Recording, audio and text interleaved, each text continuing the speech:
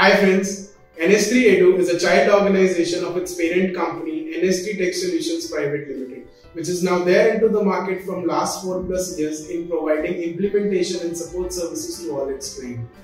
Till the, as a tech venture, we have delivered over 200 successful projects with 1000 plus customers which are satisfied from our services.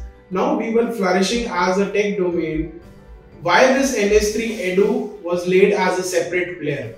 There are certain reasons which led to the formation of NS3 Edu as a separate venture.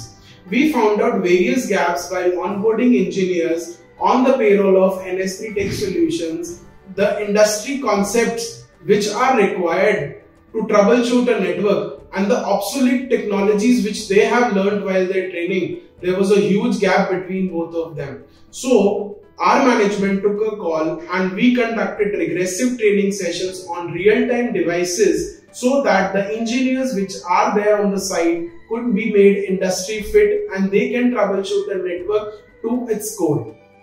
So that's how these training sessions led to the concept of NS3 Edu.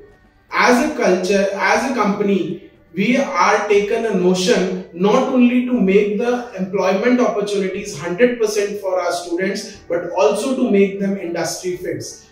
In this we are running courses starting from basic fundamentals of networking to advanced technologies such as SD-WAN, Cisco ISE, Cisco DNAC, all these technologies are being taught to our students, not only the theoretical concepts, I would like to stress again, not only the theoretical concepts, but also the practical implementation which is required in the industry.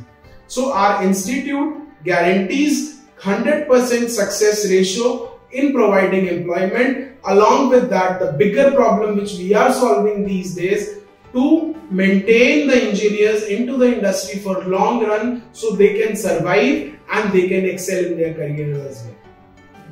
Thank you so much.